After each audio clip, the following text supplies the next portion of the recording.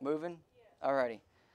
Alrighty, so for an introduction text, we're going to open up our Bibles to the book of uh, 1 Timothy. 1 Timothy, that's page number page number 1583. 1583. 1 Timothy. Now, a lot of us were familiar with this verse. We go through this time and time again. Um, but this topic, this never gets old. I, I believe one of the topics that the Lord laid on my heart just from starting off preaching is you need to preach about the end times. You need to preach about prophecy. You know, you need to, and, and sometimes you get carried away with that. I'm trying to find a balance on, you know, practicality in the Christian life.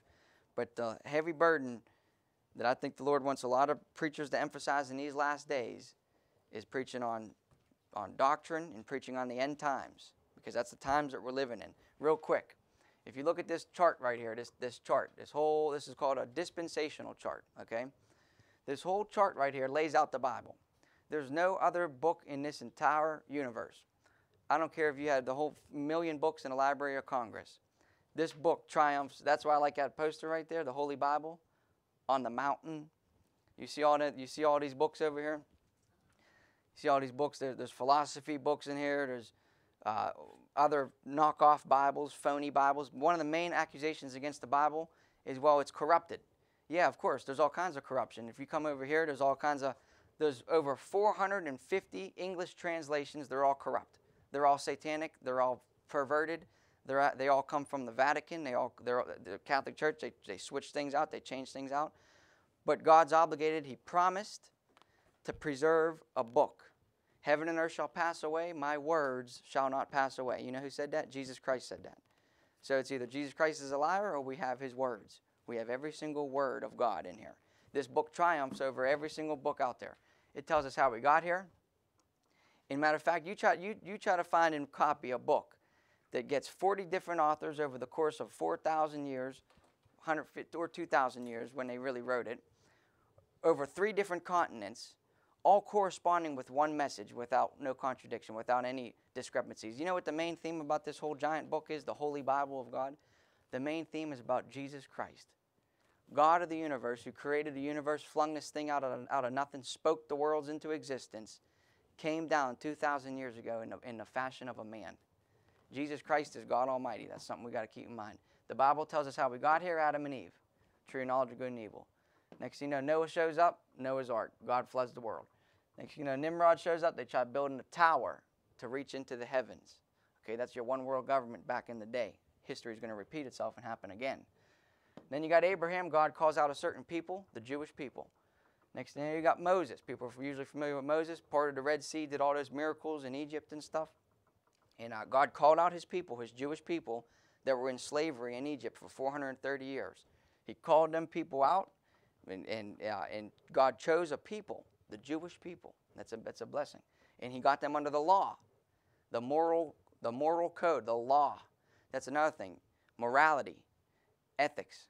You ain't gonna find not, no book it's that's moral. There's a holy, righteous law inside of this book. That's another thing. Them other religions out there and stuff, they're they're immoral. There's no boundaries. There's no morals. It's uh, you know just do kind of do whatever you want type of thing. There's a standard of righteousness standard of judgment. Okay, God gets them under the law, 613 commandments. Next thing you know, what is that? Two, over 2,000 years later, close to 2,000 years from Moses, John the Baptist shows up. John the Baptist baptizes the Lord Jesus Christ and, and announces to the nation of Israel, this is the Messiah. This is the Savior. Jesus Christ, behold the Lamb of God that taketh away the sin of the world. Next thing you know, Jesus Christ dies on the cross. He died on the cross, 1 Corinthians 15. He died for what? Why in the world? Name me, here's the thing Jesus Christ died for our sins. Name me one sinner Jesus Christ died for. he died for me. he died for me. He died for everybody in the world. If you believe in and receive Him, God gives out a free gift. It's, it's, it's based on you if you trust that free gift and take it. God, Jesus Christ, He died for our sins. He was buried. He resurrected the third day according to the Scriptures. That's salvation. Salvation is all about what God did for you. All those other religions out there, pick any one under the book. Buddha, well, he told me to meditate underneath of a tree for, for 15 hours or whatever. I might achieve nirvana and enlightenment. what do you mean? That, what, what did that God do for me? Pick, uh, look at Allah and the, and the God of Muslims. They never, that God, Allah, He never even revealed Himself. Some mysterious figure. Look at the God of Hindu, all these gods of Hinduism and these deities and these elephants and hybrids. What did that thing ever do for me? Never done nothing for me. My God came down 2,000 years ago, took my place on the cross, took away my sins, nailing them to the cross. He died for my sins, was buried, rose again the third day. There's no other salvation out there. That's salvation. People get mixed up with salvation and religion. Religion is all about a set of works. Well, what could you do for God? Salvation is about what did God do for you? That's a blessing. Jesus Christ died for my sins. He was buried. He rose again the third day, according to the scriptures. Next thing you know, we're in this time period of church age. We're right here. We're at the very end of this thing. This thing's about to pop off. It's about to get crazy. Next thing you know, we're in a uh, next a big climatic event that happens on God's calendar is the catching away. In a moment, in the twinkling of an eye, every person sitting here that believes that Jesus Christ died for my sins, he was buried, he rose again the third day, is going to be caught out of this world in a moment, in the twinkling of an eye. This leads me to the topic, uh, the title of tonight's topic, which is the dangers of New Age theology in UFOs in the Bible. That's what we're going to be talking about tonight. The dangers of New Age theology in UFOs in the Bible. Next, you know, we're going to get caught up in a moment in a twinkling of an eye. You say what you want about that. That sounds like an abduction. One Sunday, we're sitting here in this little room, not only in this little room, every Christian in the world. You talk about economic collapse. You talk about the whole world just, where these people, where they just go? Vanish in a moment in a twinkling of an eye. We get caught up to the judgment seat of Christ. Jesus Christ is going to judge our service. That's why I, I, I emphasize during the preaching a lot. Once I get saved, once I truly understand the grace of God, we sung about the grace of God, amazing grace, you know, amazing grace. What's grace? Grace is God, God giving you something that you didn't deserve. Because listen, everybody broke the law. I broke the law, you broke the law, you broke the law, he broke every the Bible says for all have sinned. In grace is God granting a sinner like me, he's granting a sinner the, the, uh, to, to give me his perfect record and to take my dirty, filthy record and put it on him. He died for my sins. Okay, so that's, that's something about grace. God gives me grace. We go up in the judgment seat of Christ. We're tried for our service. What did we do for the Lord? Once we did, after we got saved. Next thing you know, time of Jacob's trouble shows up. It's a seven year period. The Antichrist was going to rule the world. The devil comes down from outer space. He's going to set up a one world government, one world currency system, all that. Next thing you got over here, what's after this? The second coming. You got Jesus Christ coming back from heaven, coming back from glory. On earth as it is in heaven. He's going to set up the kingdom of heaven on earth. Right now, the kingdom of heaven ain't here. this thing's the kingdom of hell. The, the devil's ruling the world right now. One day, Jesus Christ is going to come back and set up his thousand year reign. He's going to he's going to show you. Look, you guys thought you could roll. You guys thought you could fix this and roll the world and fix the environment and fix this problem and you know everybody all help the poor people and and help all this. Jesus Christ says, I'm going to come back. I'm going to fix it. I'm going to show you how to run the world. he does it for a thousand years. Okay, the thousand year reign of Christ. You talk about peace. People want to talk about this peace and love and joy and this, this state of utopia. You can't get none of that unless if Jesus Christ is rolling and reigning on a throne. You know what they call Jesus Christ? The, the Prince of Peace. The Prince of Peace. There's all kinds of fake peaces out there, facades. Okay, we're going to get into some of that stuff. And then the great white throne judgment. Then Jesus then God at the end of the Bible says, Behold, I make new heavens and new earth. So what we're talking about tonight is the danger of new age theology in UFOs in the Bible. Okay? Now, real quick, I'm going to I'm to go through some verses. Let's look in the book of Jude. Let's look in the book of Jude. Good evening, Shelley. Good to see you tonight. Amen. We're going to open up our Bible to the book of Jude. A little book right before the book of Revelation. I'll give you a page number. Jude chapter 1, verse 19. Jude chapter 1, verse 19. Well, close. How about how about Jude chapter 1 verse uh, that's page 1641. Let's see here. How about Jude chapter 1 verse 9? Jude chapter 1, verse 9. Jude chapter 1, verse 9. Now, what I'm, what I'm going to talk about real quick is we're going to go over classifications of other beings in the Bible. Okay? Other beings in the Bible. The whole world, you know, praise the Lord. There's something unique about mankind. You know what's unique about mankind? We are made in the image of God. We have a body, a soul, and a spirit. We're a triparty nature, tripo- triune being. Everybody heard of the Father, Son, Holy Ghost. God is a triune is a triune being. All right, three parts to one God. That's the same with man. Okay, with body, soul, and spirit. There's other classifications of beings in the Bible. Number one is an archangel. All right, so look at Jude chapter 1, verse 9. Yet Michael, the archangel, page 1642, Jude 1 9. Yet Michael, the archangel, when contending with the devil, he disputed about the body of Moses. Durst not bring a railing, uh, durst not bring against him a railing accusation, but said, "The Lord rebuked thee." I don't got time to expound that passage, but Moses, or but it says right there, Michael, the archangel. There's only one archangel mentioned in the Bible. That's Michael. There's not Raphael and Seraphim and the five ninja turtles or whatever they call them. There's one archangel in the Bible. It's Michael. Gabriel's an angel, no doubt. He's a messenger. But Michael, the archangel. Okay, that's one. All right, now we, we, we got that down. Michael, the archangel.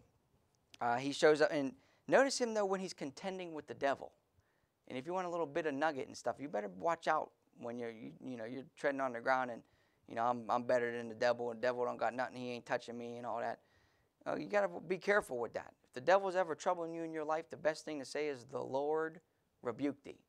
I can't rebuke the devil. He'll. Uh, I'm reading the book of Job. If you've seen the devil appear right now, I'd fall fall flat on my back. I'd die. You can't. You got to take the the Lord got to deal with the devil. The Lord rebuke thee. Okay.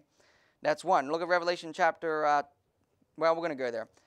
We're going to go there in a, in a, minute. But look at Hebrews 13. I'll, let's go to another one. Let's go to another classification of beings. So you got an archangel. Okay, we're going to see there's a bit of a hierarchy when it comes to, you know, we're studying a little bit of angelology. All that means is a fancy way of saying the knowledge of angels. And if you want to know a thing or two about angels, you got to go and open up God's book and see what the Bible got to say about angels. Look at Hebrews 13. Look at Hebrews chapter 13. I'll give you a page number. That's page 1615. 1615. Hebrews chapter 13. Now we'll talk about angels. So obviously an archangel is above the standard angels. Okay, now what's, what, what's an angel really? Look at Hebrews chapter 13, verse number 2. Hebrews 13, verse number 2, it says, Be not forgetful to entertain strangers. For thereby some have entertained angels unawares. Some have entertained. That word entertain, you know, people think, you'll come to my house, I'll entertain you. I'll get out the chips and salsa and we'll put on a movie on a TV or whatever, and it'll, it'll, it'll entertainment get together or something. But entertain, now if you read the Bible, angels showed up to people. Now I want you to notice that though.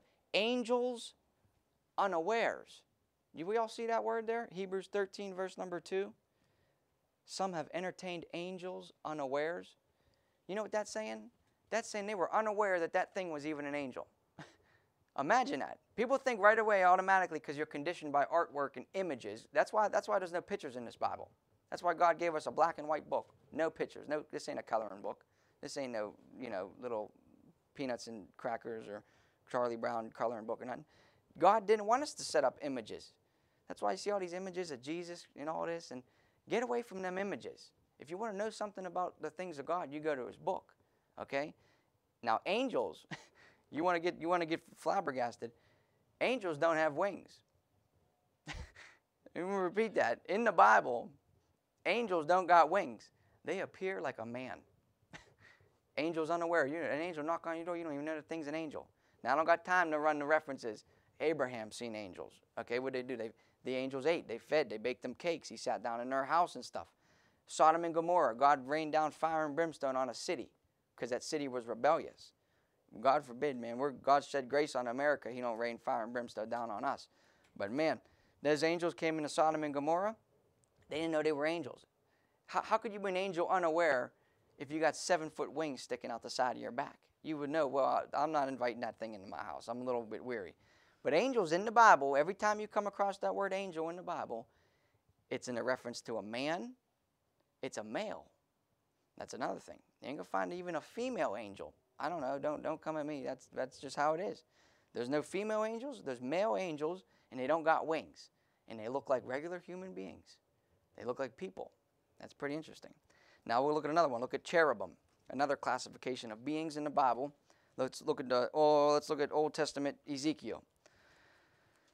Let's see here. Ezekiel chapter number Ezekiel chapter number 1, that's page 1068. 1068. 1068. 1068. All right, this is this is 1068. Now you want to talk about UFO? This thing is an unidentified flying object. Now the reason why we're talking about this subject tonight is because, like I said, this is a very relevant topic, and the, and the reason why is one of the um, we didn't even read our introduction text in 1 Timothy chapter 4. the Bible says in 1 Timothy chapter 4, verse number 1, I'll just quote it. Uh, For in the latter times some shall depart from the faith, giving heed to seducing spirits and doctrines of devils. 1 Timothy chapter 1, 1 Timothy chapter 4, verse 1. In the latter times, that's where we're living. Some shall depart from the faith. Yeah, I was raised Christian. Yeah, I went to church.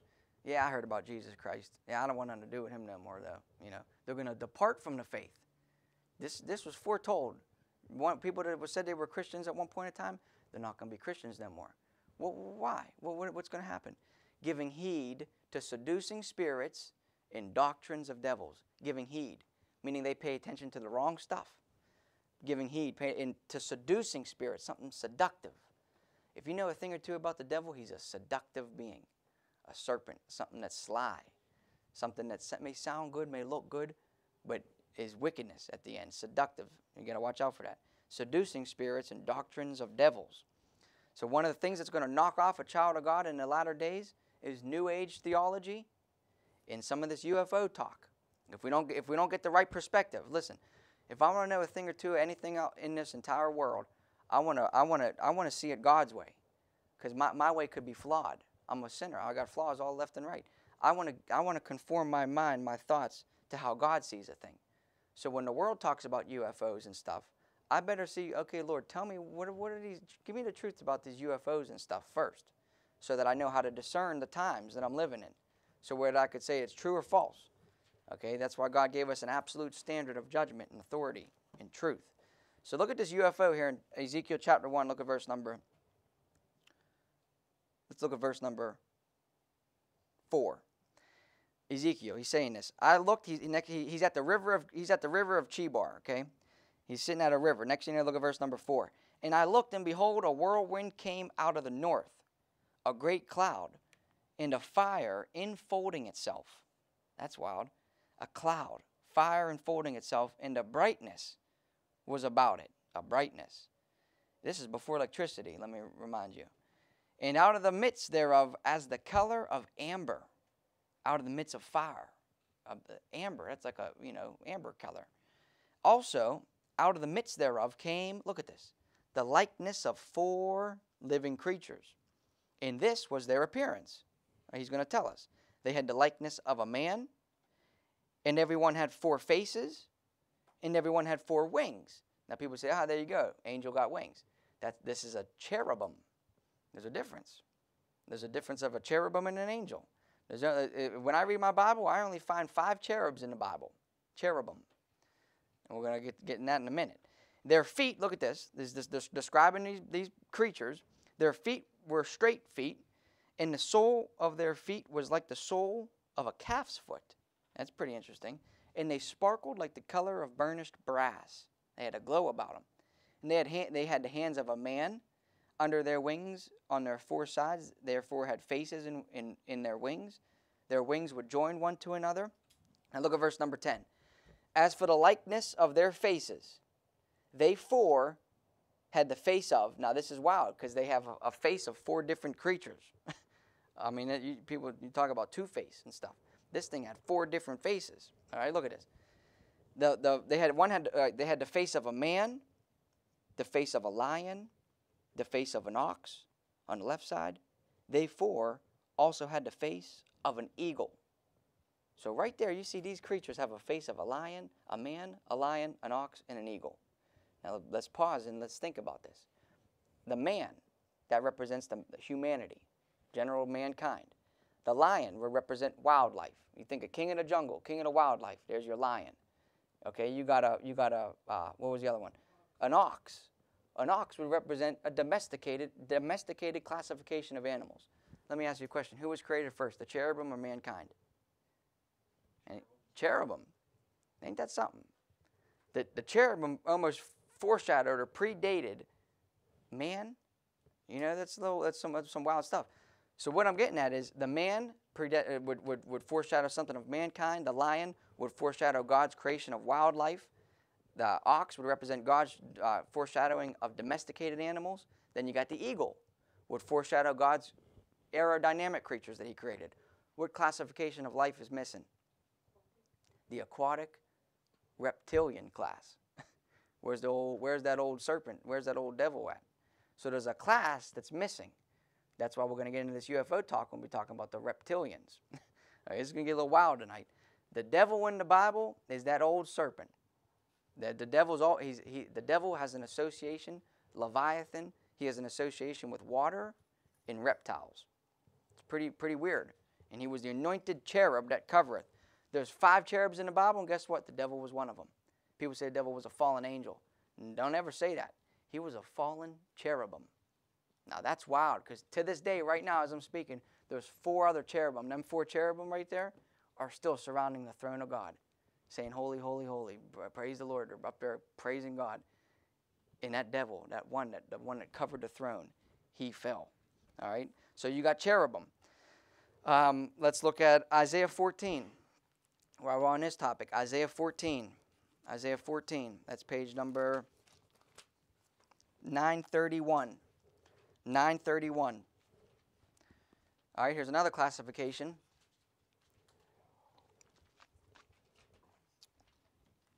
Isaiah 931. Oh, I'm sorry, uh, page 931. Page 931, look at this. Isaiah chapter 14, verse number 12.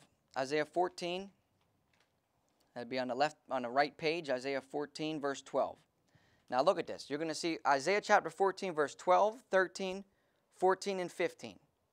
You're going to see these verses are going to talk about the fall of Lucifer. Okay? Look at Isaiah 14, verse 12. How art thou fallen from heaven, O Lucifer, son of the morning? How art thou cut down to the ground, which did weakest the nations? For thou hast said in thine heart, you want to talk about the original sin in mankind? The original sin. People, Catholic Church would call it adultery, the original sin. The original sin in the Bible is pride. This thing is what got the devil messed up. Look at verse 13. For thou hast said in thine heart, I will ascend into heaven. I will exalt my throne above the stars of God. Okay? I will sit also upon the mount of the congregation in the sides of the north. I will ascend above the heights of the clouds. I will be like the Most High. There's a classic passage, they call it the five I wills. I will, I will, I will, I will, I will do this. I'm gonna, I'm gonna be. The devil is gonna. He's trying to say I'm gonna be like God. Now look at verse 15. I was like, I was like God's rebuke at this. Okay, God always got the last word. Yet thou shalt be brought down to hell, to the sides of the pit. you ain't got nothing on me. That's what I love about God. He, the devil said, you, you want to speak your heart? Iniquity was found in the devil. He, want, he was lifted up with pride. Thought he could get, thought he could get over top of God. Now, real quick about that, I will exalt my throne above the stars of God. We can get a little study on stars. A lot of times, stars in the Bible are representations of angels. Now, if I, if I had to say who's, who's powerful, Michael the archangel or the, or the devil, I got to go with Michael the archangel. Because somehow, some way, in the book of Revelation, chapter 12, he de, the, the Michael the archangel fought against the dragon and his angels, and, and Michael prevailed against the devil. The, the, Michael defeats the devil, and it, the devil gets cast down to planet Earth. People think about the devil. The, when they think of the devil, they think of this guy with some pitchfork and, and big horn and just you know red and, and big muscular and you know he's just, the devil manifests himself as an angel of light. Look at first. Look at look at uh, Second Corinthians. Look at this. This is what, what's wild about this. Look at Second Corinthians, or yeah, Second Corinthians chapter 11. I'll give you a page number. That's page number 2 Corinthians chapter 11. Look at verse number 14 or 13. That's page 1541. 1541. Right now we're talking about the being, the, we're talking about other beings, we're talking about the devil. All right, he, the devil, he, he, uh, he was Lucifer, he, he, he rebelled, he, he had pride, he got lifted up. Now look at this. Look at 2 Corinthians chapter 11, look at verse 13, page 1541. The Apostle Paul is writing. He says, For such are false apostles. So there's false apostles, deceitful workers. Now look at this word transforming themselves into the apostles of Christ. Transforming. I don't want to jump ahead at all and stuff like that, but when we talk about these UFOs, we're going to look at it. When you talk about uh, in this UFO stuff, they're shapeshifters. They're shape shifting beings. People are going to say this is insane. This is wild. Well, we're, we're going to get we're going to see some of this stuff. Now look at verse 14. You want to talk about a shapeshifter? Look at verse 14. And no marvel, meaning don't be surprised, for Satan himself is transformed into an angel of light. He's transformed. Well, one, one, one time, one passage it says he's like a serpent. Next passage I read, he's like Leviathan. Next passage I read, he's the anointed cherub. Another passage I read, he transforms into an angel of light. Now, if you know, if we know about angels, an angel is a man. So the devil could appear like an angel of light. Now look at verse 15. Therefore, it is no great thing if his ministers be transformed as the ministers of righteousness. I don't know, do we got a bunch of shape shifting weird people over there in the Vatican Church or something like that? A bunch of reptilians? Generation of vipers? Generation of vipers? Why would the Lord say something like that? Before I go off, I ain't teaching this doctrinally. This is a little bit of speculation, but Jesus Christ called a whole group of people a generation of vipers. You originate from a snake. That's pretty weird stuff. Now look at um, let's look at let's look at Isaiah 6, verse 2. Isaiah 6, verse 2. Isaiah chapter 6, verse 2. Uh, that's page 921. All right, the next classification of beings in the Bible, you got your seraphim. You say, ah, well, they're the same. They're all the same. They're all an angel. No, no. There's certain words in the Bible that, that are different. You got to rightly divide. All right, now look at this. Look at uh, page 921 Isaiah chapter 6, look at verse number 2. Isaiah chapter 6, verse number 2. And it stood the seraphims. Each one had six wings. Now, ain't that something? Each of these things had six wings. The cherubim had four wings. So, right away, there's a difference. Now, seraphims, there's at least two of them. We don't know how many, but it's plural, so there must be more than one. So, seraphims, each had six wings. With twain he covered his face. So two he covered his face, face, and with twain he did cover his feet, and with twain he did fly. And he cried, Holy, holy is the, is the Lord of hosts, the whole earth is full of his glory. Now that's one thing. I think that word seraphim shows up, I think, one time. Seraphims. They got six wings. All right. Um, let's look at another one. Let's look at let's look at Genesis chapter six. Another classification of beings in the Bible. All right, look at Genesis chapter 6. That's page 14. Derek Taylor, we're talking about the dangers of New Age theology, and we're talking about UFOs in the Bible. All right, UFOs in the Bible and the dangers of New Age theology. Because I'm gonna, we're gonna get to that New Age stuff in a minute. I'm just going over classifications of other beings in, in the Bible. So Genesis chapter 6, look at verse number 2. Now look at this. The sons of God saw the daughters of men that they were fair, and they took them wives, all which they chose. Now, there's a group of people in the Bible called sons of God. These are all. Now, look at this though. Genesis chapter 6, verse 2. Sons of God. There's only one, the only begotten Son of God.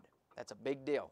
You got them other new new versions and new knockoff Bibles and stuff. They changed the most famous verse, John 3:16 uh, the one, the one and only Son. What do you mean, one and only Son? God it says right there, sons of God. Matter of fact, it says if you if you receive Jesus Christ, to them gave He power to become the sons of God. There's not. There's only one begotten, the Son of God. That's God Almighty. God manifested in the flesh, Jesus Christ. Now these were sons of God.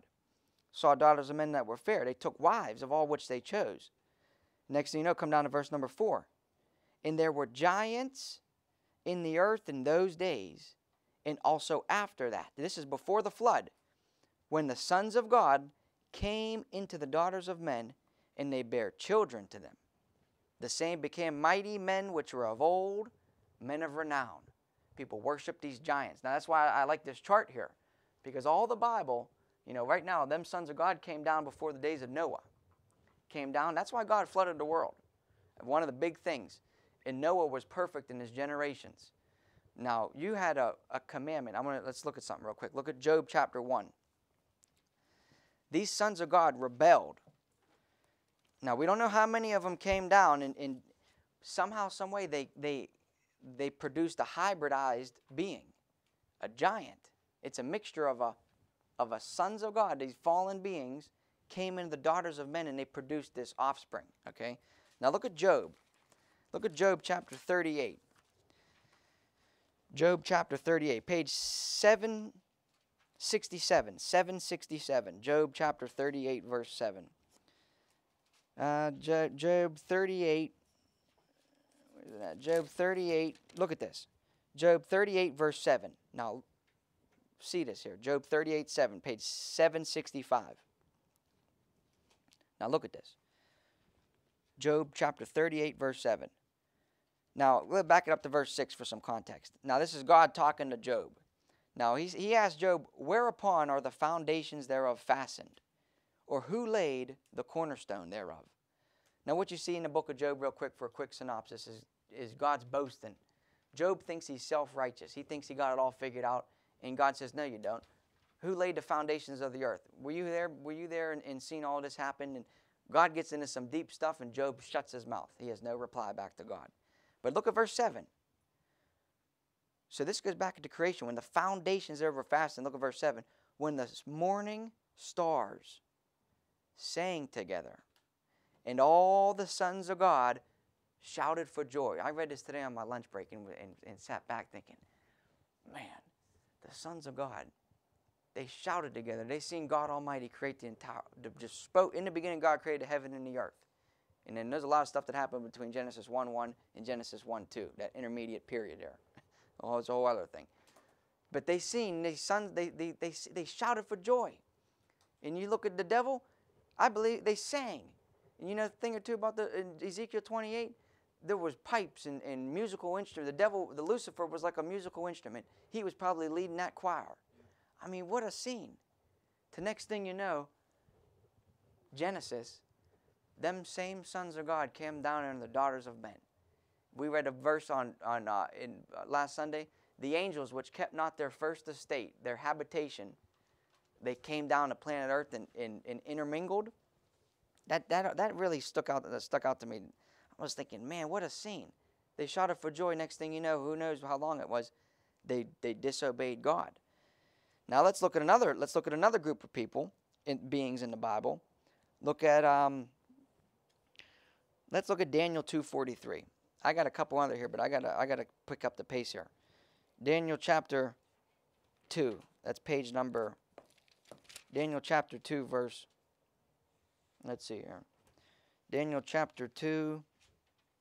I'm on verse 40. That's page 1140. We're going to look at another group of beings another group of beings in the Bible, and I don't know what to call these people, but Iron Men. You look at Marvel, you got that whole thing, you know, Iron Man. He's a, he's a guy next, but you know, Tony Stark, he's a half suit guy, and he, he's a smart guy, but he builds his suit and stuff. Well, somehow, some way, we're going to look at this intermingling of iron and clay. Where came from clay? I'm a ball of dust. God created for me and breathed in Adam's nostrils. So you got clay. Now look at this verse in Daniel chapter 2, verse 43. Daniel 2, 43, 1140. And whereas thou sawest iron mixed with miry clay. Now what's this? They shall mingle themselves. They, they shall mingle themselves with the seed of men. But they shall not cleave one to another. Meaning you, this, ain't, this ain't natural even as iron is not mixed with clay.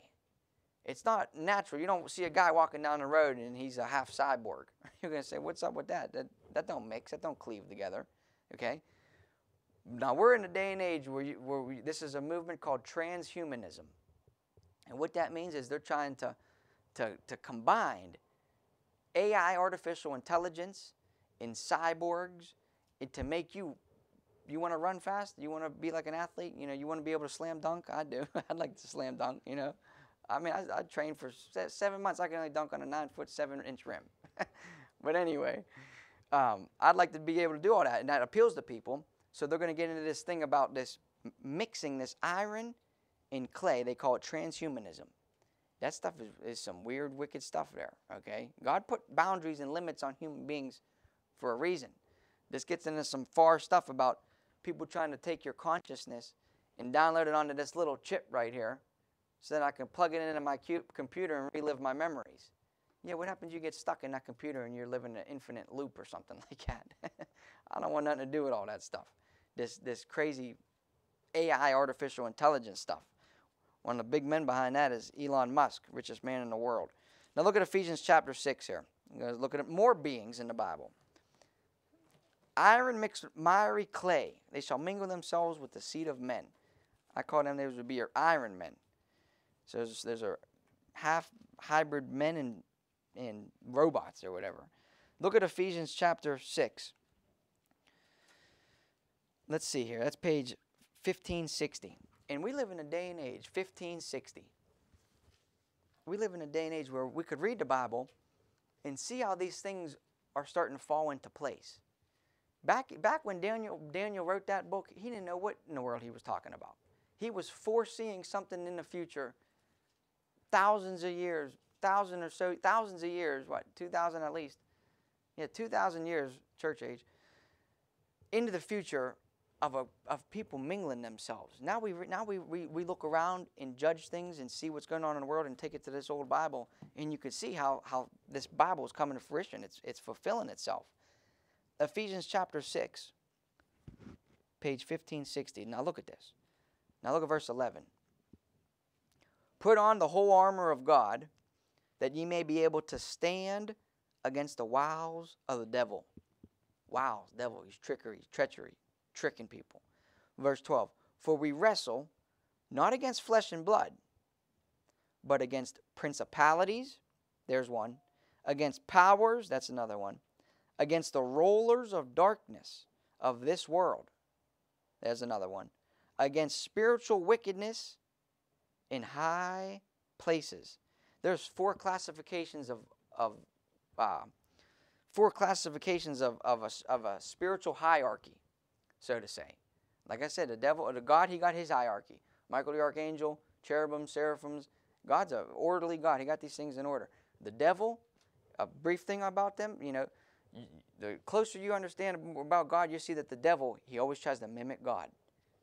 I mean, he always tries to, to be a counterfeit, facade, fake, phony, but he tries to mimic God. So he has his classifications of life. There's the hierarchy. Now I want to show you something. Look at Colossians chapter 2, verse 10. I got a blessing out of this one. Colossians chapter 2, verse 10. Colossians chapter 2. Let's look at verse number Colossians chapter 2, verse number uh, verse number 8. We got to start at verse number 8. That's page 1568. 1568. The book of Colossians. Now, Paul gives a warning here about something. Apostle Paul gives a warning. Col- uh, Colossians chapter 2, verse 8. That's page 1568. Now, look at this verse number 8. Paul tells us to beware of something. Beware. Colossians 2 8. Beware lest any man spoil you through philosophy. You got to watch out for philosophy. In vain deceit, after the tradition of men, after the rudiments of the world, and not after Christ. Somebody's going to spoil you. They're going to come by and, and think that, oh, it's so much better to just follow the world. It's so much better to just follow this certain philosophy. I studied philosophy in, in college. One of them was called hedonism. And all that told me is you could do whatever you want to do. you do whatever you want to do. You want to you want to eat like a pig. You want to go around and, and commit all kinds of sexual, ungodly things. Go ahead and do it. And there's no boundaries. That's what philosophy will do to you. Paul says, watch out for philosophy. All right, now look at, and look and not after Christ. Anything that doesn't train your mind and point the glory back to Jesus Christ, God Almighty, you got to be fishy about that. When I read books, when I read all this stuff, and I don't see one mention of the true God, they got this all these these weird names, the the ether and the the, the magnetic bond and the the universal one and all these vague terminology. I want to know the, na- the name of God is the name above all names, Jesus Christ. Now look at verse number 9. For in him dwelleth all the fullness of the Godhead bodily. Ye are complete in him, which is the head of all principality and power.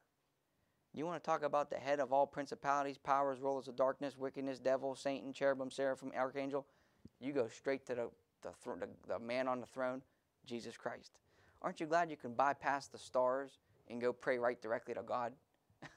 you know, people make a wish on a, make a wish on the stars. What am I going to do that for? I could just go right to the throne of glory, right, right to my Lord and Savior. I don't go full round with no stars or nothing like that. that you know, the, the, I go right to the main guy. Jesus Christ makes intercession for me.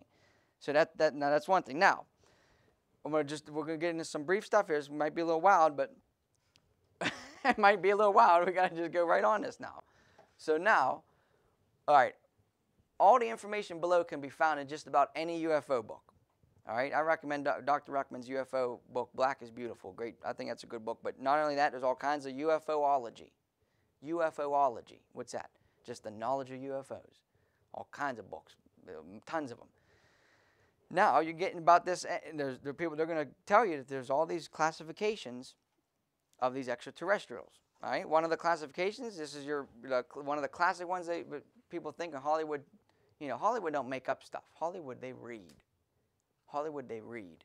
They read philosophy books. They read these exoteric. Here's one some words you want to know: esoteric and exoteric knowledge. What's uh, esoteric is something that's only insiders know. This gets in all your symbolism, Freemasonry and all this weird symbolism that's all around the world and stuff. Witches and warlocks and all that, they operate by symbolism. That's esoteric. Exoteric, well, that's just the Pepsi sign. Or that's just the Facebook F. Or that's just the Gmail logo or whatever, you know. That's the exoteric. The outsiders look at it like that. But then there's an esoteric meaning, an inside, a secret, a hidden. This gets into Gnosticism, occultism, theosophy, New Age stuff, all these, these different things here. I don't know how I got off on that. Anyways, um, the grays. Gray skinned, humanoid, usually three to four foot tall, hairless, large heads, black almond shaped eyes, nostrils without a nose, slits for mouth, no ears, have three to four fingers, including a thumb. Three to four fingers. Well, I read about in the Bible, Og, king of Bashan, one of them giant, they had six fingers. That's some weird stuff. This guy, he had three to four fingers. Grays have been the predominant extraterrestrial beings of alleged alien contact since the 1960s. Man, you, you get studying into UFOlogy in the 1950s and 60s. My, um, not, not you, Grandma, but my other grandma. my other grandma would swear she saw one of these things on Allegheny River Boulevard hovering. She always said hovering, hovering over top of this thing while they were on the pullover in the middle of the night. Wonder what they were doing on the pullover over on Allegheny River Boulevard, seeing this spaceship hovering over the water. Quiet. She put down the windows. Carl, put down the windows. And she seen this thing hovering over there. And, and, and that thing would go along the Allegheny River. And next thing you know, it just took off. Just real slow. She said, follow it, follow it. My pap was scared to death to tell that story. she told that story, she would draw it on napkins for me and stuff. But whatever, now this is back in the 50s, seeing these weird things, these UFOs and saucers and stuff. You imagine what they got now. Okay, so another one, they got these guys called the Tall Whites. Now, this, this is a mix between the Greys and the Nordics. Okay, the Greys in, the, in this Nordic race. Now, who are these guys? Now, the Nordics, this is your common, they call it the Aryan race. All right, this is what they would call this the, the blonde hair, blue eyes, the, the ultimate, you know, the best genes and stuff. Right away, you, if you know a thing or two about Adolf Hitler in Nazi Germany, you're going to find out Adolf Hitler was in search for these beings, these, this Aryan race, this pure race of people, okay? Now, with these guys, what do they say? Sometimes called space brothers, I can't, pleasuring as Pleiades, uh, Pleiadians, from Pleiades. Now, Lord willing, if we get to these verses, God has something to say with, with constellations. Read the book of Job. He talks about Pleiades, Orion, Maz- Mazzaroth, and Arcturus. Why God talks about constellations. What a weird thing. You know, there might be some association with fallen angels and God giving a hint about where these angels, what constellation they're coming from. tell you, that, that Bible is a deep book. And there's some things in there that, yeah, be simple concerning that which is evil. Be wise unto that which is good. But you got the heart to study and search out things. God will show you all kinds of stuff in that in that Bible. Anyways, they say these guys come from Pleiades. All right. Um, what else they say? Featured in several cases of contact, it's said that they are from ancient Earth, but presenting themselves as ETs in the past. They moved from living on the surface to live underground. Now get this, around the Himalayas, Himalaya area after after a natural event. So they've moved and fled underground after a natural event. Well, what, what could what natural event happened? Flood of Noah. God flooded the entire planet. All right. Now there's always speculation. I don't know. Got the, I don't got the answer for this one. Where in the world did them giants come from after the flood? We never read that. The, there's only four possibilities because it says they were in the earth after that. It's either the sons of God came back down and interbred. You got Goliath and you got the, his brothers and his and the other guy, or they they they fled down into the into the rocks or something like that. I don't know, but you're getting a lot of stuff about the world underneath of the heart of the earth, the underworld. Now, back in the day, back before the cross, all right, back before the cross, there was a place in the heart of the earth called hell. That's still there today, still burning hot as can be. There's no air conditioning in it. It's still hot. okay, no water in it. It's still flaming fire and torment. Hell didn't change. It didn't just get ramped up in those couches and those nice tile floor and stuff because trying to keep up with the times or nothing. It's still burning. And then there was a place called Abraham's bosom. Abraham's bosom was a state of paradise. But we know after the cross, paradise got caught up to the to the third heaven. I got to slow down. A lot of stuff probably like psh, psh, psh. the third heaven. There's there's the heaven there's the atmosphere. Then the second heaven is the is outer space, and then the third heaven is where God where God abide, uh, abides. And if you was drop dead today and you believe in Jesus Christ, you go up to the third heaven. There's no intermediate state no more. That place got taken up. But it's interesting how they said they fled to the Himalayas. Now, let's see here. Um, uh, now, here's something that's worth reading. 1938, all right, you got a guy named uh, Heinrich Himmler, a leading member of German, Germany's Nazi Party and key architect of the Holocaust, sent a five member team to Tibet to search for the origins of the supposed Aryan race. Uh, author, whatever, recounts the fascinating story of this expedition, which passed through India. A little over a year before the World War II began, a group of Germans uh, landed along India's border. They were on a mission to discover the source of the Aryan race.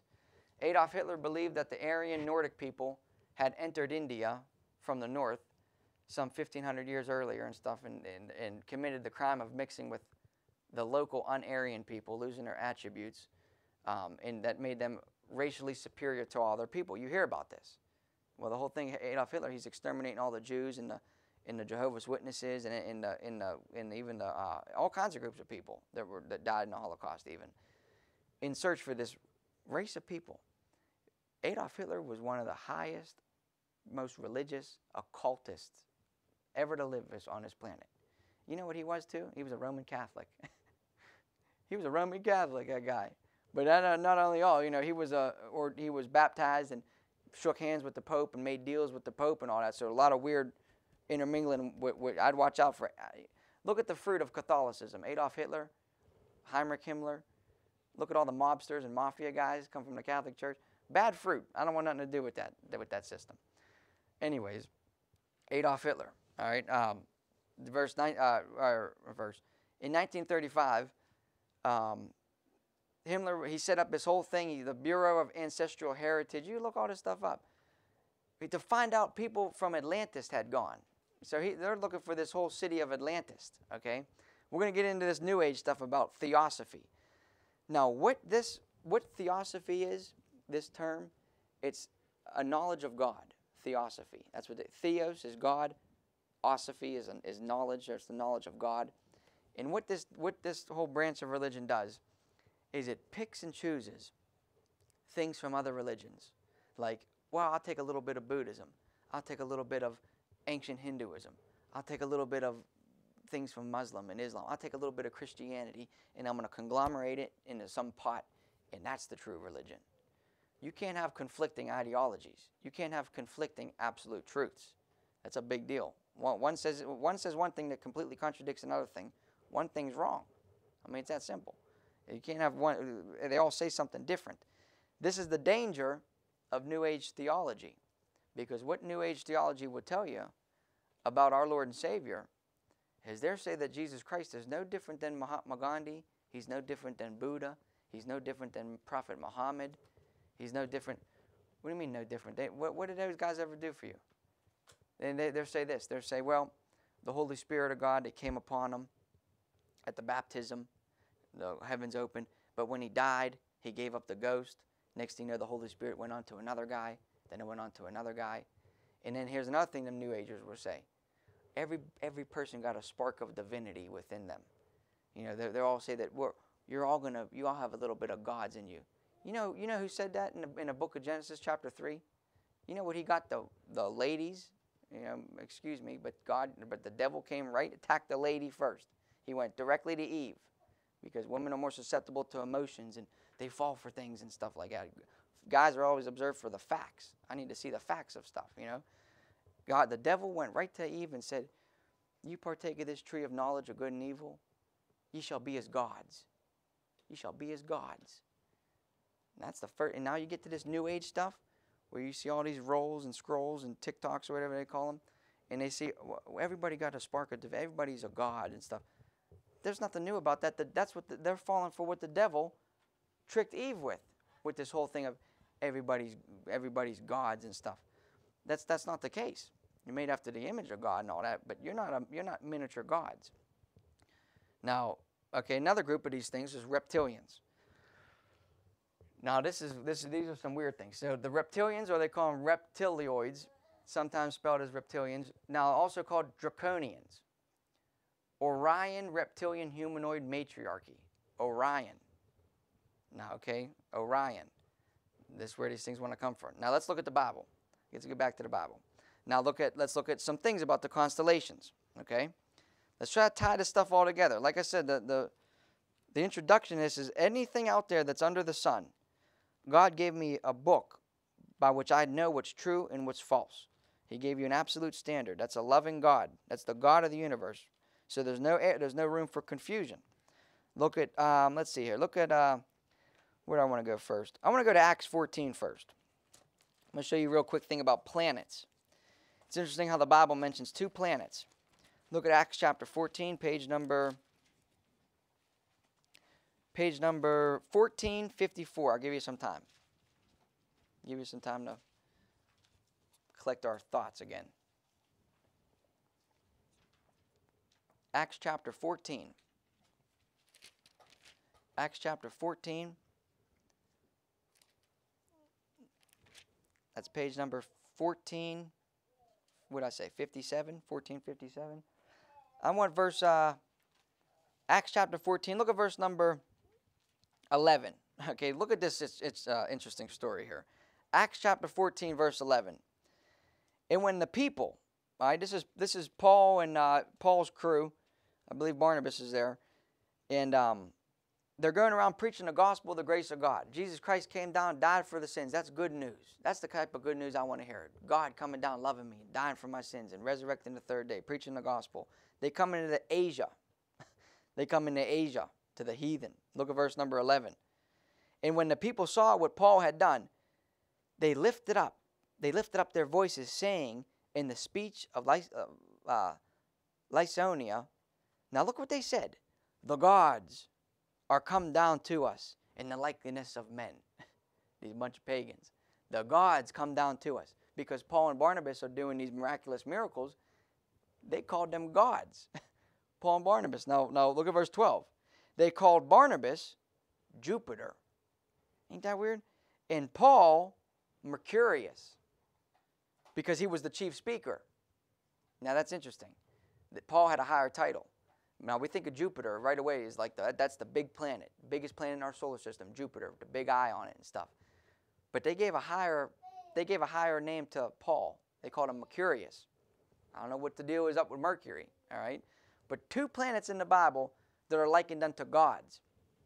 Jupiter and Mercury. Okay, now look, look what he says there in verse 13.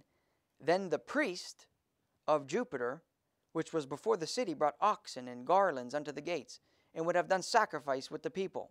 Meaning they were, they were going to lay down and worship Paul and Barnabas as, you know, I'm going to bring you food, I'm going to bring you garland, I'm going to treat you as like you were some god. Okay, now look, look what Paul says. Now, which when the apostles Barnabas and Paul heard of, they rent their clothes and ran among the people, crying out.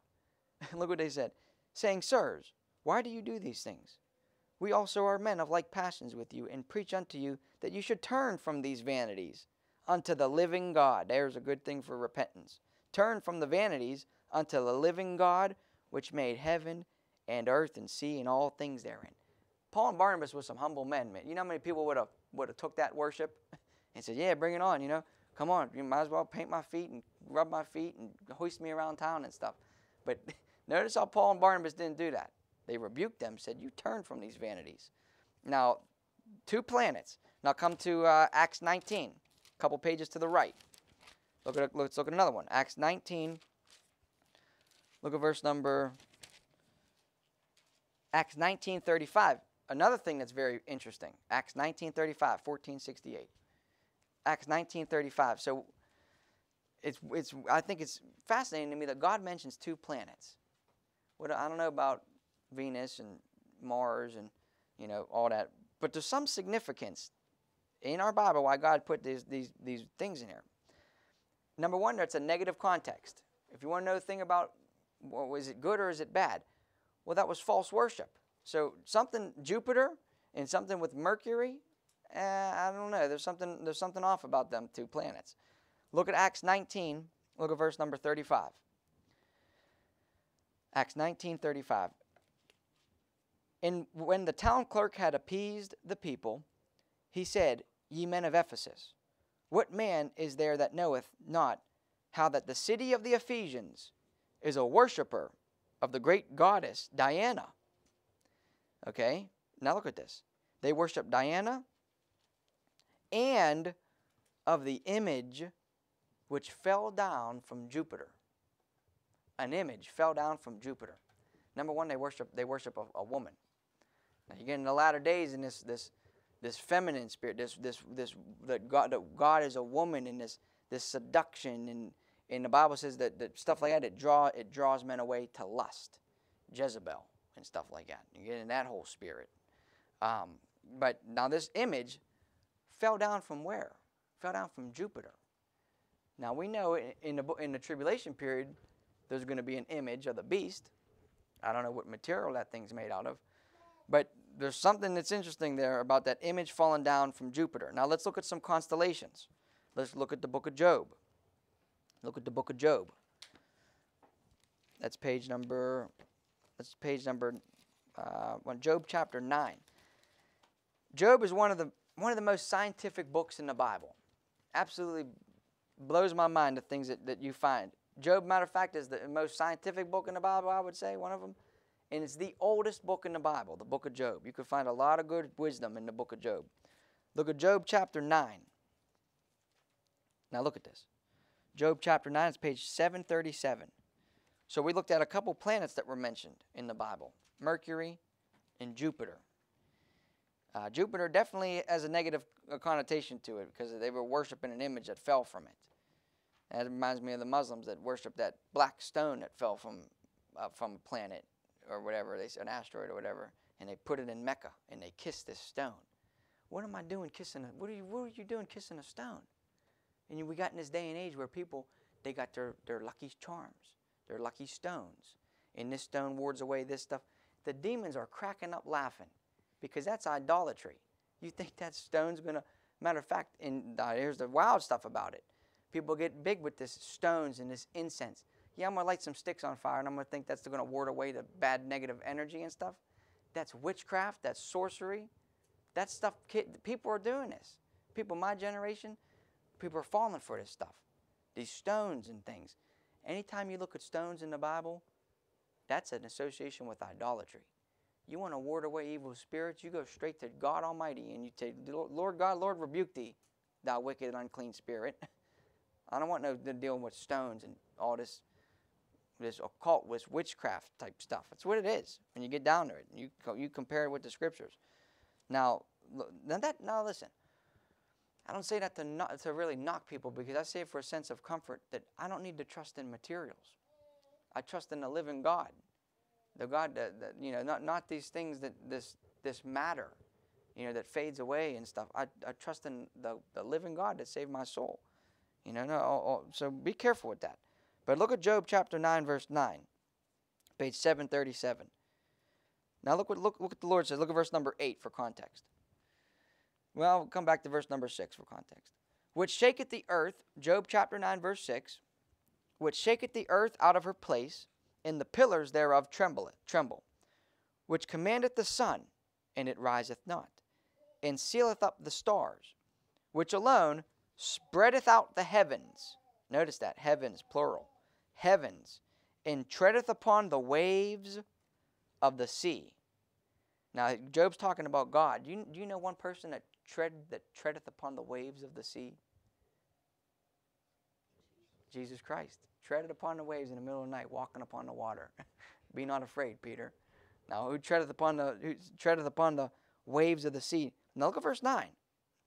Which maketh Arcturus, Orion, and Pleiades in the chambers of the south. Now that's weird. Now I look up a definition of chamber. It's an apartment in an upper story. an apartment in an upper story. There's three heavens the atmosphere, outer space, and eternity. So there's a chamber, there's uh, dwelling places in the upper chamber, chambers of the south, an apartment, the definition of chamber, an apartment in an upper story, a place where an assembly meets, a private or secret council to reside in. Now that has something to do with a chamber, which maketh Pleiades, Orion, the chambers of the south, which doeth great things past finding out and wonders. So just a, I want to draw to your attention Arcturus, Orion, Pleiades. All right, now come to Job 38. Look at Job 38. You're in the same book of Job. Keep turning the page so you find Job 38. Job chapter 38. Now, why in the world is God telling me that? Now, we know in, in association who treadeth upon the waters and stuff, that's Jesus. Then the right verse after that says, which maketh. We know that Jesus Christ is God and God made these constellations. Now, this is, I think there's some, some things, some nuggets that we could that we can dig out of here. Look at Job chapter 38. Look at verse number 31. I come back to verse 30. Now look at this. Let's see here. Look, look at Job chapter 38. Look at verse number 30. Okay, watch this. The waters are hid as with a stone. You say, what's that mean? I got no idea. The waters are hid as with a stone. Now, in the face of the deep is frozen. The face of the deep is frozen. Now, you do more further study on this deep. We're in Job chapter 38, verse 30. Um, not to get too far in this, but the sea, there's a the, there's a sea of glass before the throne of God. Before you get into eternity, there's a sea of glass there, and that thing's frozen. This, we live in a universe that's bound by time, space, and matter. We live in a closed system, okay? And I don't care how vacuum sealed you, eventually that thing's going to rot and wear out. Same thing with us. Same thing with this whole universe. It's going to rot and wear out. But when you get outside that closed system, that's where God is. That's eternity. That's the streets of gold and all that. Okay, that's that's eternity. But in this closed system, the boundaries of this universe, God got that thing frozen off. Okay, that's how that's what I believe about that about that passage. I don't know. I don't know about the whole thing about the flat Earth and that's the walls of Antarctica and stuff. I, I'm, I don't look at it like that. Now, real quick, let me just throw out here for a minute. I believe, you know, when I'm gonna get up here, I get raptured up. I'm gonna see the, the shape of the world and all that stuff. But listen, when I think when I see that flat Earth model, I think of something little. You know, the sun's floating around in a snow globe, and you know everything's all tiny, like right here and stuff. It don't bug me a bit to think about the expansiveness of that's the power of God. If He wanted to make heaven 50 trillion zillion light years across, hey, that's fine by me. That's just that manifests His power and glory. But the whole thing about that, well, you know, they, they want to just make you feel small and unworthy.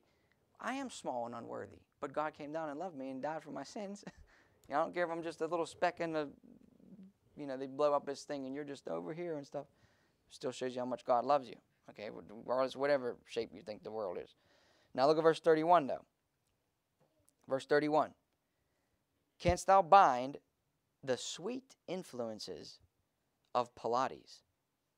Sweet influences of Pleiades. That's now that's weird.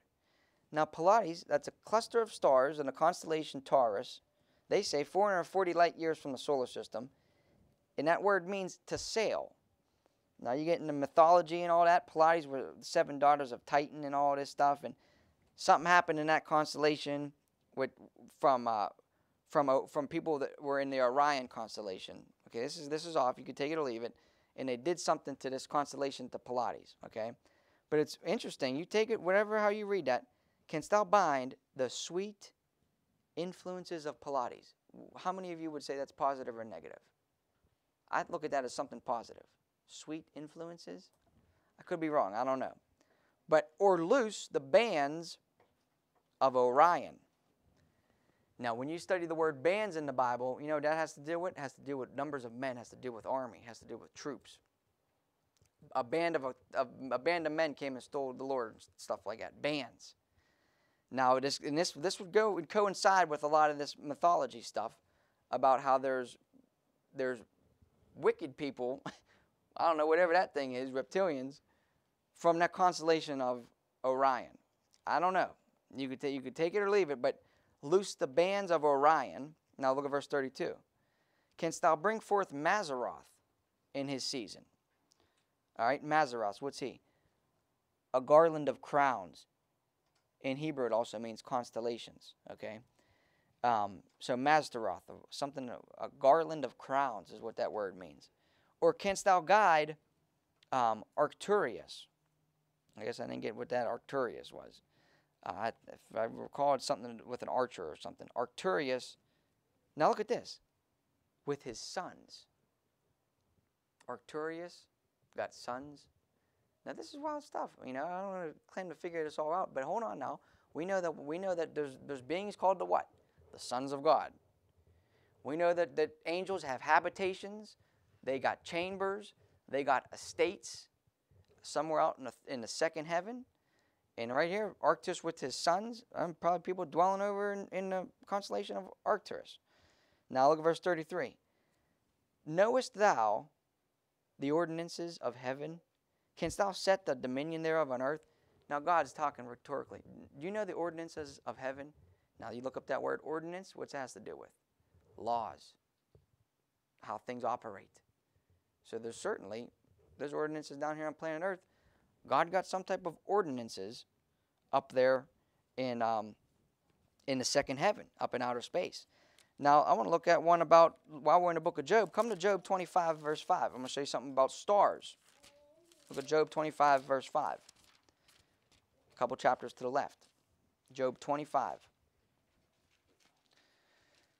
Job 25, let's see, verse number, Job 25, verse number um, man, I got the wrong one. Got the wrong wrong text here. Um, anyways, here's a good one. Look at Job 25, verse number uh, verse number seven. He stretcheth out the north over the empty place, and hangeth the earth upon nothing. Hangeth the earth upon nothing. Well, that's pretty scientific, wouldn't you say? This earth, this earth is just floating here. Anyways, look, hold on. Stars are unpure. I gotta I gotta get a reference here real quick. Yeah, where am I at? Job 25 verse. The stars are not clean in His sight. Yeah, where where am I at here? Help me out.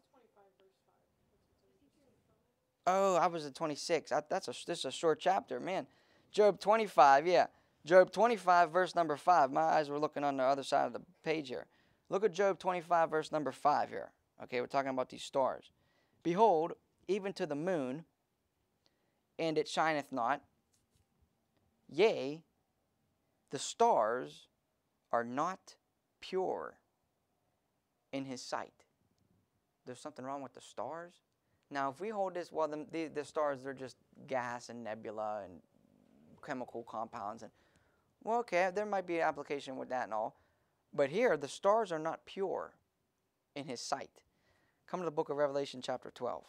Let's try to tie this stuff all together here. Look at Revelation, chapter 12.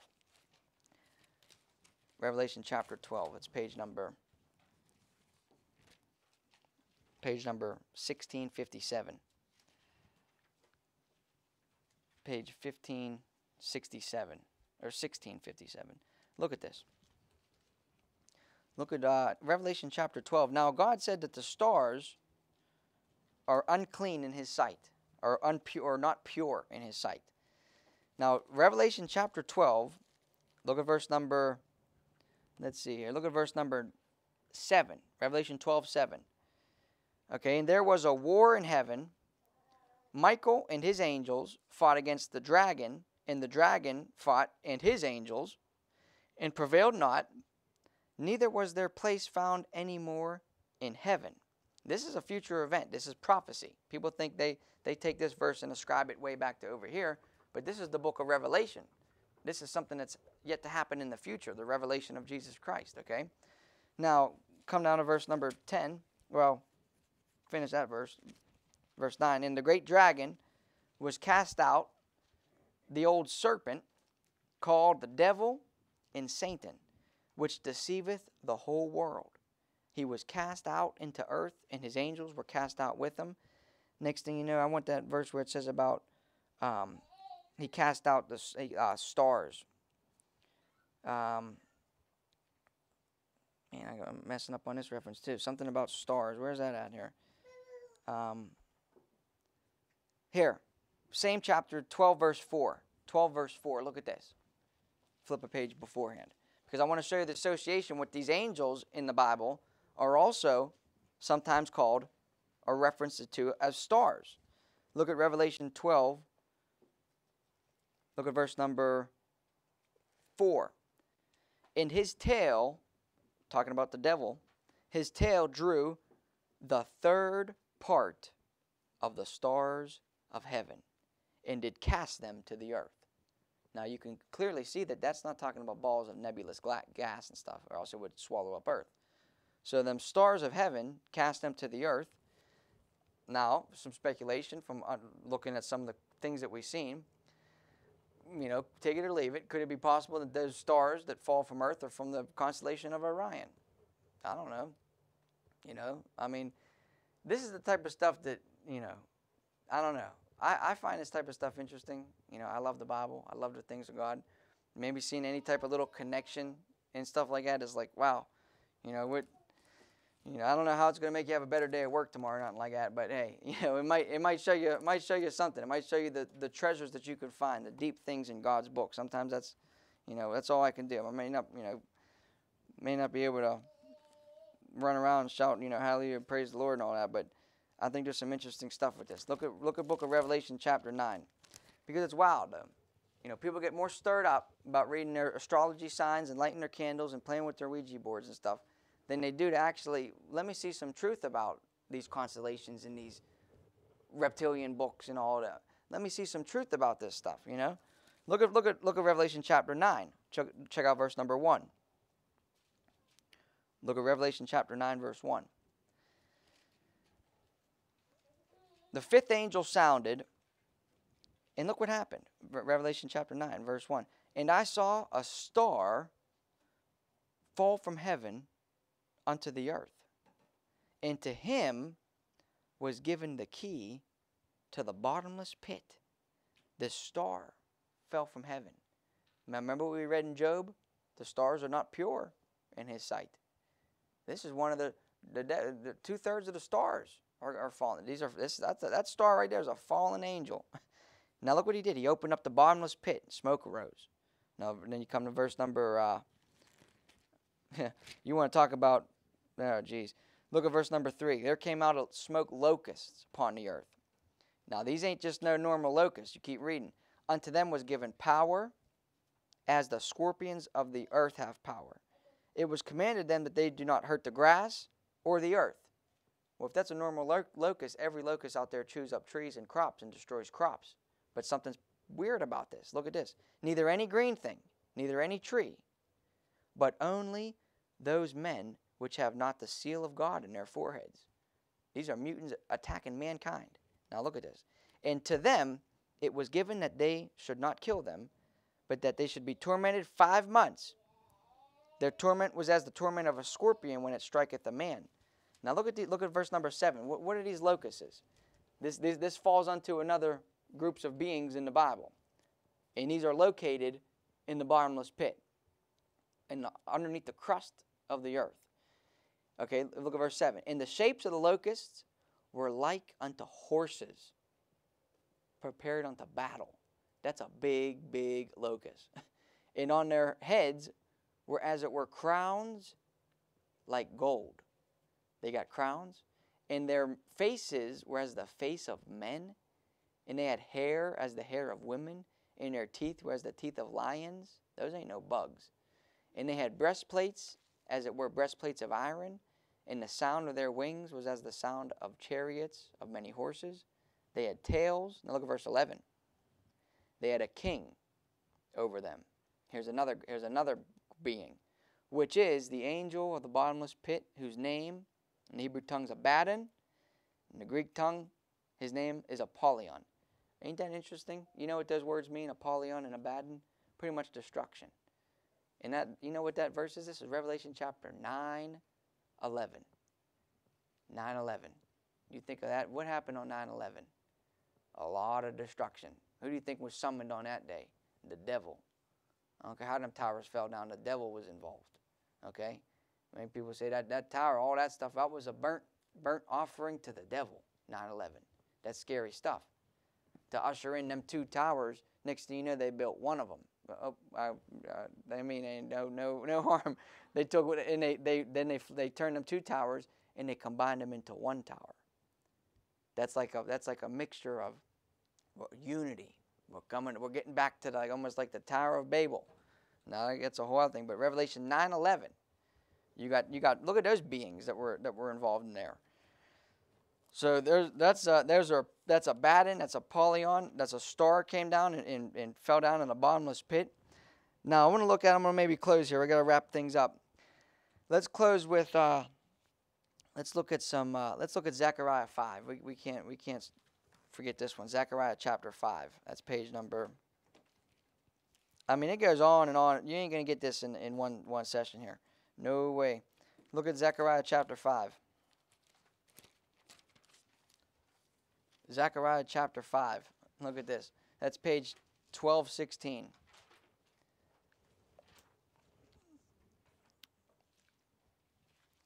Now, this is definitely a UFO, an unidentified flying object.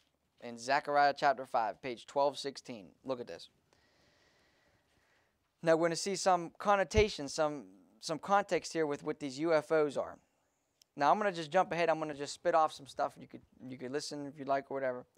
But when I see the words chariots in the Bible, I know you know what's interesting. God comes back on a white horse. When I see chariots in the Bible, now always remember that God there's always counterfeits with God and the devil. If God comes back on a on a white horse, well then that could explain why with them. Now I, I was laying on bed thinking this. I am looking, didn't have no nightmares, thinking God who created, who, you didn't make those things in the bottomless pit. Mutant, hybrid. Now it gets into, uh, you know what the Nazis were doing down there over there in Antarctica or whatever? they were down there genet- genetically mutating beasts with mankind. I believe that. You can look at me like a crazy nut or whatever, but them Nazis were down there doing something. And they got videos of the stuff. I don't recommend you looking it up. Some of the weird scientist pictures and stuff, they're trying to hybridize people. Somehow, someway, the devil is creating mutant hybrids down in the heart of the earth. God comes back on white horses. The devil comes back with some mutant, ugly-looking things. Okay. God, you know, God talked. God got you know chariots. Elijah got caught up in what? A chariot of fire, a, uh, or what was it? A whirlwind or a chariot of fire came up. And there's another passage in the Old Testament. Elisha, He's looking up in the mountains and said, God, open up my eyes. God opened up his eyes. He's seen chariots of fire round about. If only God would take off the veil of our physical eyes and we seen into the spiritual realm, well, I don't want to see no spiritual. I'd be, I'd fall back. I don't want to see all that. that stuff would scare the death out of me. But he's seen chariots of fire. I believe those are good things. That, that, that was a good connotation. So the devil is going to have his chariots. Now you want some good pictures? You want some make the Old Testament some fun reading? You look at the book of Exodus and you think about when Pharaoh, what's Pharaoh? A type of antichrist. Pharaoh's chasing God's people and he got chariots on the back, okay? And you know that there's spiritual chariots and God overswelled the waters and destroyed all them chariots. Um, them chariots, you could look up something. There's maybe the devil got his chariots that are, I don't know, saucer shaped, roll shaped. Uh, the Bible says Sisera. Sisera was another type of antichrist. Got a stake stuck right in his temples. Sisera. He had chariots of iron. Okay, chariots of iron. Now this may be a little off. You could take it or leave it. This is for some people. This, ain't, this saying ain't for all people. but whoever gets it gets it. But um, so Sisera had chariots of iron. God told Solomon and David, don't you go down to Egypt and get horses. Okay, it's pretty wild, you know, wild commandment or something. Now the point I'm making is there may be some spiritual chariots that God got, no doubt about it, but there may be some counterfeit chariots that the devil got. And that may picture Pharaoh's chariots and Sisera's chariots. There may be an association with chariots with unidentified flying God got flying chariots. And the devil's going to counterfeit it. He'll make something. Now look at Zechariah chapter 5, verse number 1. Then I turned and lifted up my eyes and looked, behold, a flying roll. He said unto me, What seest thou? And I answered, I see a flying roll. The length thereof is 20 cubits. Ain't that pretty plain? The length thereof 20 cubits. That's 30 foot. The breadth thereof 10 cubits. That's 15 foot wide. 30 foot by 15 foot wide. Now look at this. Then he said unto me, this is the curse that goeth forth over the face of the whole earth. That's horrible, whatever that flying roll is. A flying roll, the curse, it's a curse of the whole earth? What is that? For everyone that stealeth shall be cut off as every side according to it, and everyone that sweareth shall be cut off as the side according to it. I will bring it forth, saith the Lord of hosts, and it shall enter into the house of the thief and into the house of him that sweareth falsely by my name. It shall remain in the midst of his house, this curse.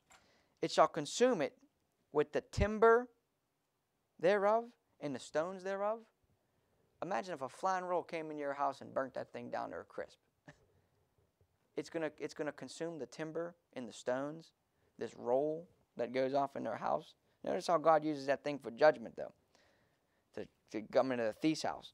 Look at verse 5. The angel that talked with me went forth and said unto me, Lift up now thy eyes and see what is this that goeth forth. And look at verse 6. And I said, What is it? He said, This is an ephah that goeth forth. He said, Moreover, this is their resemblance through all the earth. Now let's pause. Let's look at an ephah. That's an ephah. It's a bowl shape.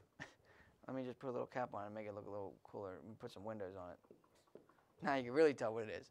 An ephah. And what's that? Looks like a, looks like my looks like a Noah's Ark type thing. But it's a it's like a bowl shape. Okay, that's what the the Jews collected their food in an ephah.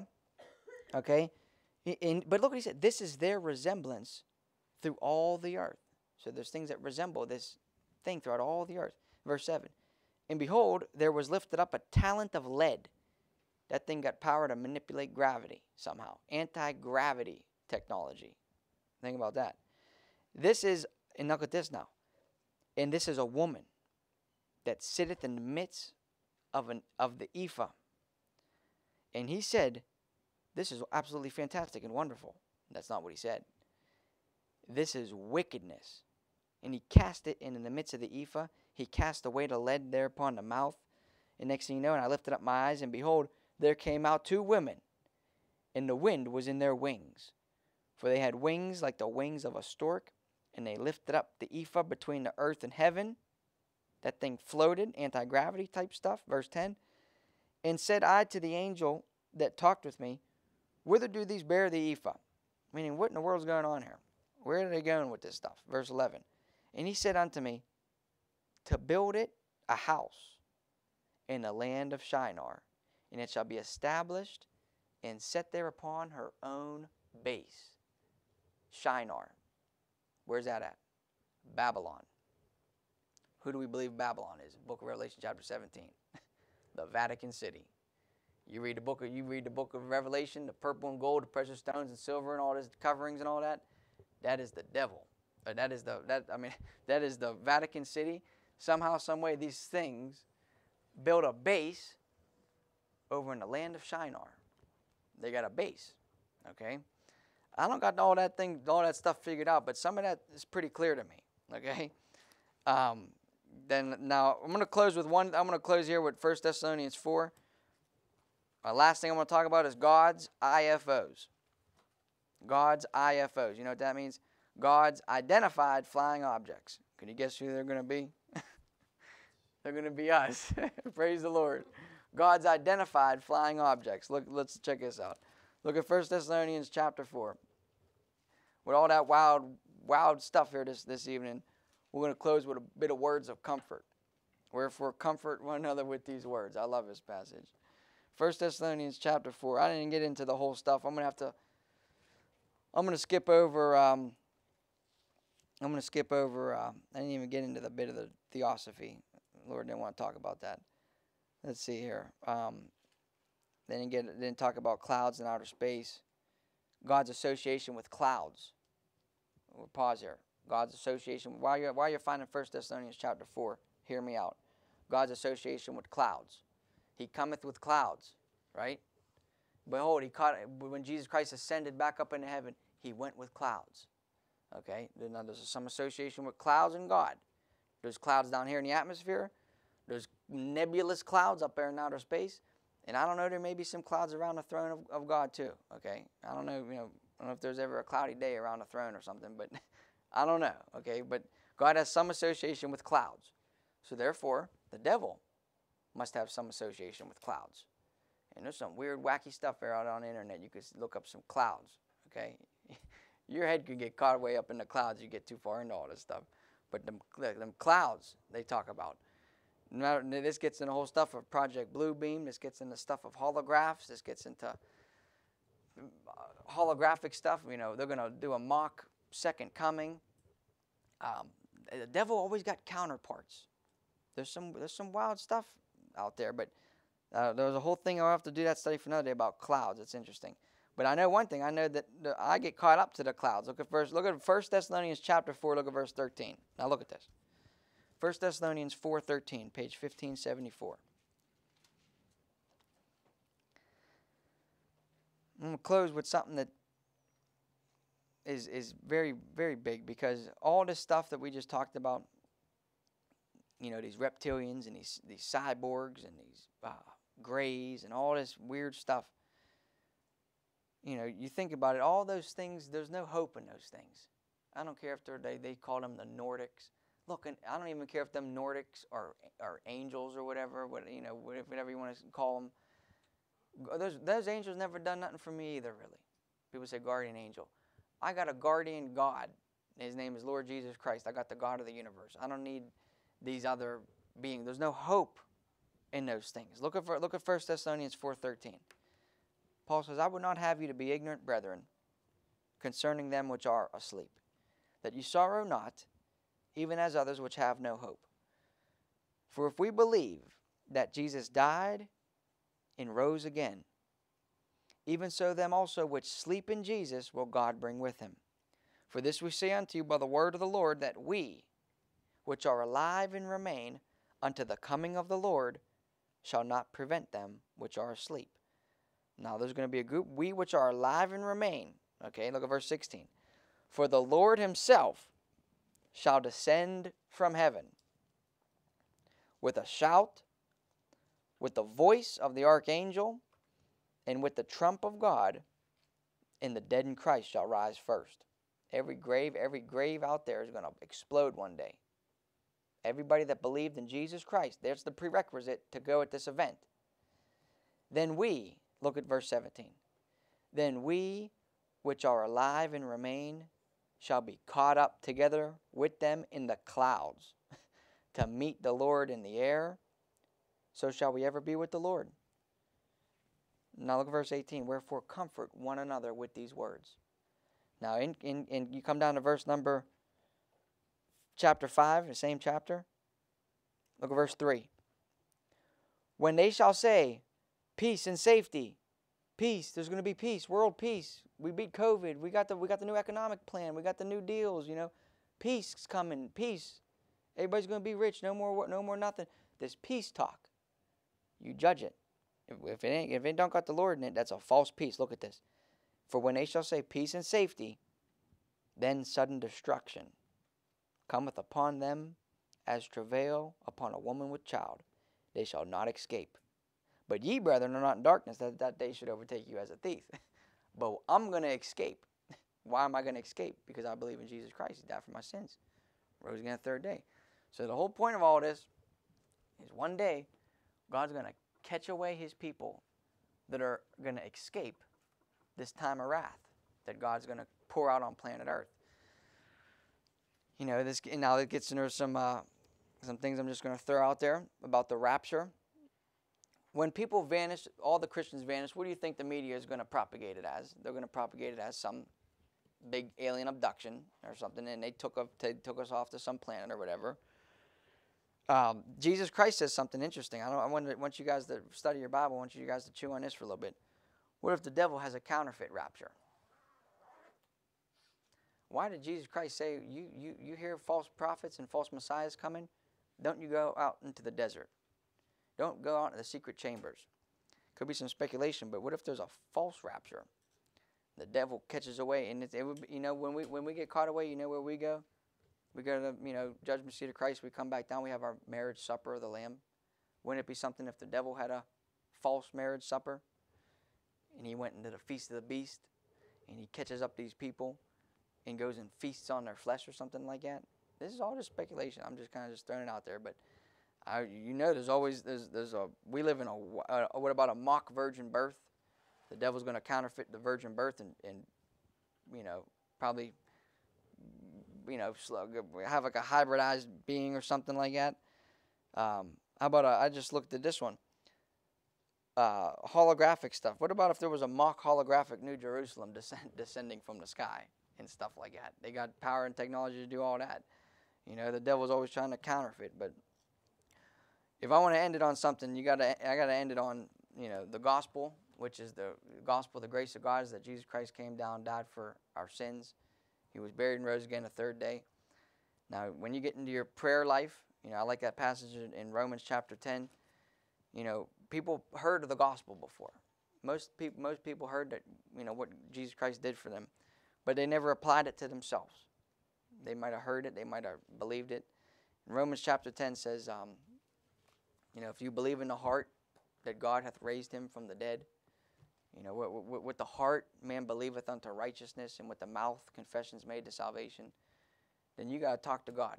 You got to tell him, Lord, you know, I believe what you've done for me. I understand that I'm a sinner. I can't make my way to heaven aside from what you did for me. And you got to develop a personal relationship with God, not a personal relationship with all these. I don't want no personal relationship with Him. I don't want no personal relationship with Him. I don't want no personal relationship with none of these people. I want a personal relationship with Jesus Christ, the God that created all things. So that's what I, I urge that you know everybody to to get in, into get in this Bible. Come, come to Bible study. That's the whole point. You know, you could you could dig out a lot of treasures and get a lot of understanding and wisdom and in all facets of life. It's just not just the deep things, but a lot of wisdom is found in this book. So let's just bow our heads for closing prayer and we'll, we'll get out of here. All right, dear Lord God, Heavenly Father, Lord, I just want to thank you tonight for your for your word, Lord, for this study. Um, might not have been a blessing to anybody else here, Lord, but it was a blessing to me because I love I love you, dear God. I love your word. Uh, I just find it fascinating, dear Lord. You know, people talk about all this entertainment and ways that they spend their time, Lord. I pray that we get get in your book, draw us closer to you, Lord. Help us be heavenly minded. And um, dear God, I just just pray for all those people that are deceived and uh, help us be witnesses to to show them to your truth, show them to your word, and to give us wisdom and understanding while while we uh, while we seek through um, all these things in your book, Lord. May I just may you receive all the praise and glory here tonight in Jesus' name. Amen. Amen. All righty. Went a little long here tonight, but I wanted to just get that all out the way because, you know, there's still uh, it's a relevant topic though. It's a relevant topic.